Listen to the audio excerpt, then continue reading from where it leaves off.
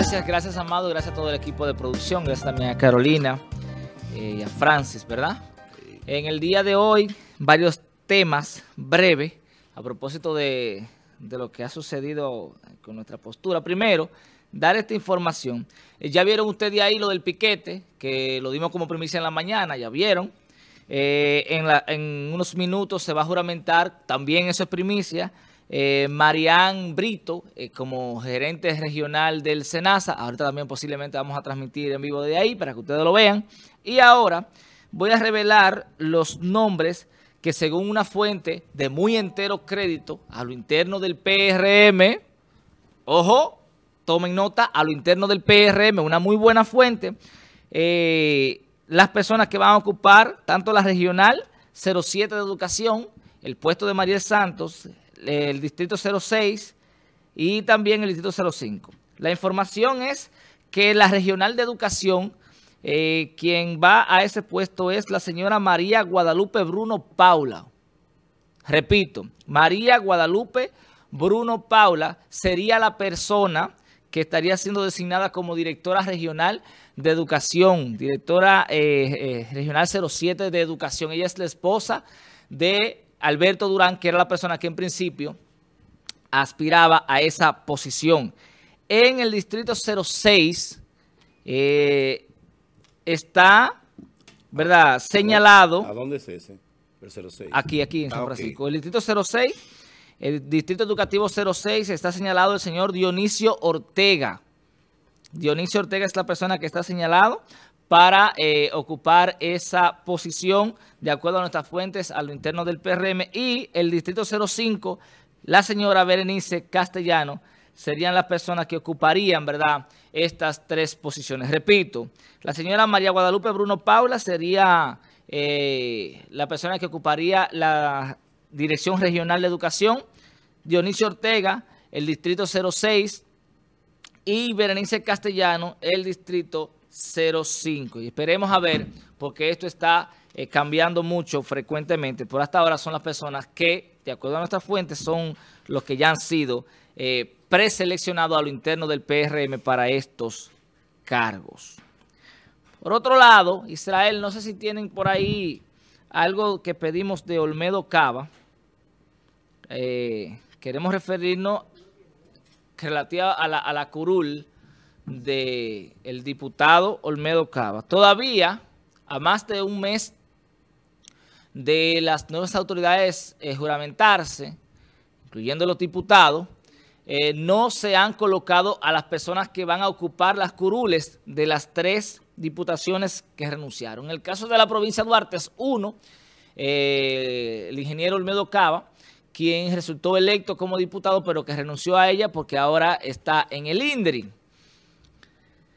Entonces, él emite una, una declaración este fin de semana a nuestro corresponsal, eh, corresponsal Arismendi la Antigua, que yo quiero que el pueblo le escuche, para entonces luego emitir una opinión con relación a esto. Vamos a escucharlo, muchachos.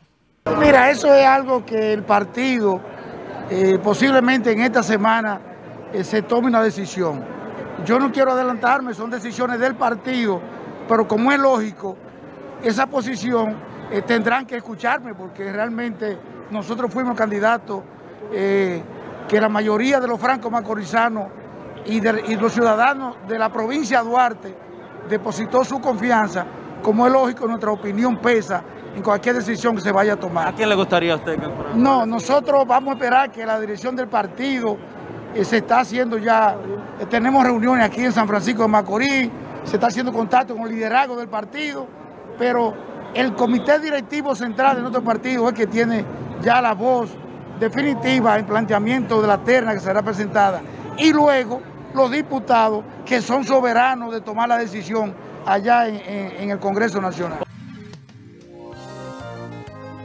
Fíjense ustedes que el ingeniero Olmedo Cava hace referencia a que su voz pesa porque él fue el electo. Eh, El amigo Olmedo Cava, a quien yo le guardo mucho respeto, eh, con esa declaración luce un tanto egoísta.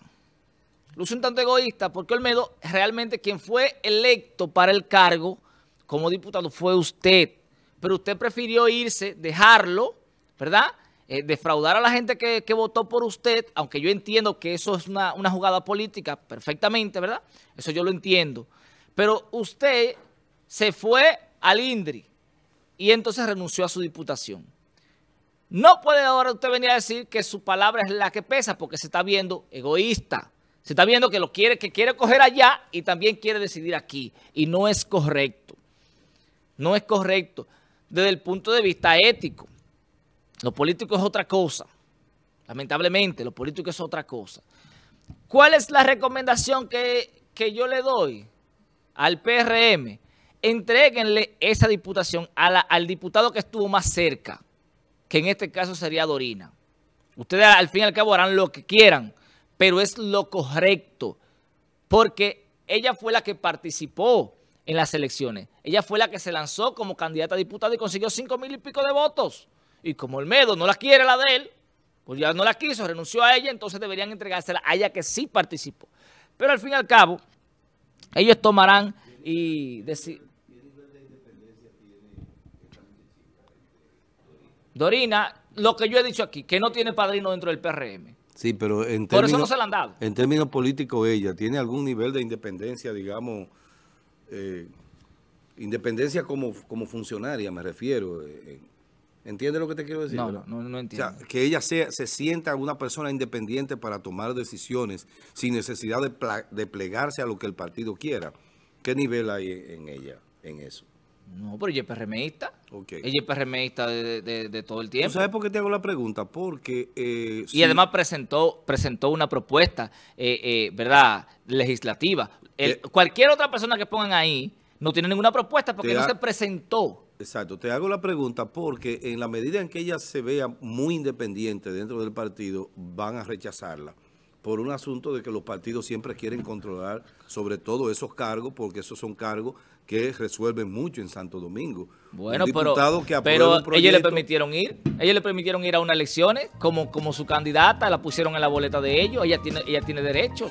Eh, y el pueblo... Yo no discuto eso. Y el pueblo eh, eh, votó. Miren, por último, atención, me parece una actitud un tanto egoísta de parte del diputado. Él incluso debió decir no al partido que decida. Del diputado, no decir, del ex. Sí, sí, del ex diputado.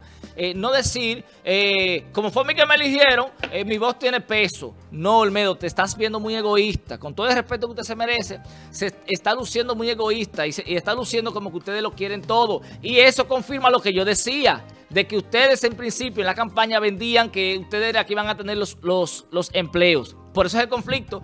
Hay un conflicto ahí hoy con la, con la, con la, juramentación de, de, Marián Brito, porque era otro. Eh, Miguel Gil era que querían ahí y no se lo permitieron. Y hay un conflicto por eso. Incluso eh, la gobernadora se quejó en un chat, se quejó y dijo que no, que no podían permitir ese tipo de cosas. Si no se ponen de acuerdo, van a terminar mal van a terminar mal. Y Olmedo se está viendo un tanto egoísta, queriendo abarcar, eh, abarcarlo todo. Haga su trabajo donde está y permita al partido que decida qué hacer con esa diputación, que yo entiendo que lo correcto sería que se le entreguen al diputado que estuvo más cerca. Termino con esto, Israel. Cuando hablamos del castigo, yo tengo una, una posición bastante clara. Yo siempre he dicho, yo no, ah, yo no vengo aquí a convencer a nadie. Cada quien tiene su postura y el tiempo es el que va dando la razón. Cuando yo hablo del castigo, de darle una pela a un, a, un, a un, niño, de darle golpes a un niño, está demostrado que no arregla. En el futuro se van a dar cuenta. Usted dice, ah, pero yo soy un hombre hecho y derecho y sin, y sin ningún tipo de, de trauma. ¿Qué sabe usted? ¿Qué sabe usted dónde tú estás reflejando ese trauma? La mayoría de, los seres humanos tenemos trauma, tenemos laguna, que las reflejamos a veces en nuestros hijos. Cuando le damos una pela, le damos galletones, por ejemplo. Y tú descargas, Israel, no hable caballá, que tú no sabes de lo que estoy hablando. Cuando tú le das una pela a un niño, a veces tú, ahí mismo, ¿eh?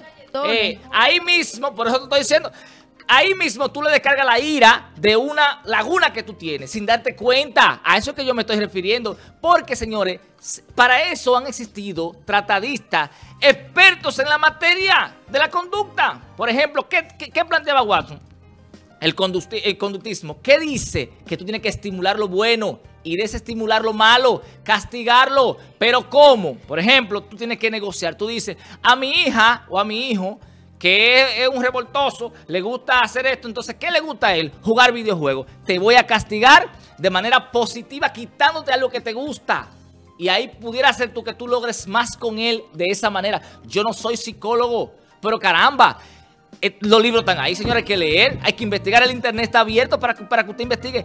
Se van a dar cuenta que los golpes no han resuelto nada. Nada, en ninguna parte del mundo. Por eso que Estados Unidos, tú no le puedes poner la mano muchacho. No se la puedes poner. Por eso tú vas a Suiza, España, cualquier país desarrollado y no se la puede poner. ¿Saben por qué? Porque los derechos de ese niño están por encima de los tuyos. Siempre va a ser así, independientemente de... ¿Que uno le da? Sí, porque venimos de una cultura del golpe, venimos de una cultura del, macaneo, como decía el compañero, de dar golpe, de machacar, sin tú darte cuenta del daño que tú estás provocando. Incluso hay niños, y con esto termino ya, hay niños que se forman por el miedo a sus padres y terminan siendo la sombra de sus padres cuando ellos quieren ser otra cosa y no lo dejamos ser. A los niños hay que dejarlo desarrollarse, es un derecho que ellos tienen, con disciplina, pero no a golpes no a golpes. Hay castigo positivo y hay castigo negativo. Para eso tenemos que orientarnos con los expertos profesionales de la conducta. No a correazo, ni a chancletazo, ni a pecosones. Bueno,